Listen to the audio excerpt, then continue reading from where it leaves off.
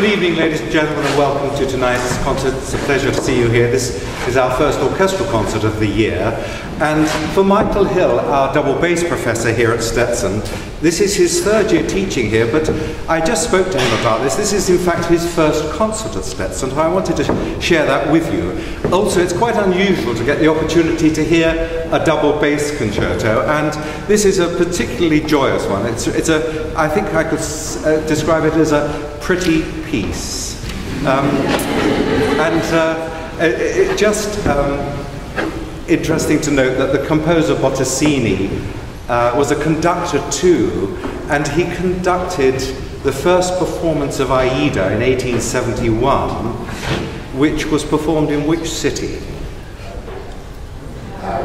Cairo, well done. Right, and it was performed for the opening of the Suez Canal in Cairo. And uh, so perhaps we can just think a little bit about that as, and, uh, uh, uh, as we welcome Michael Hill to the stage. It's a great pleasure to have him with us on the faculty.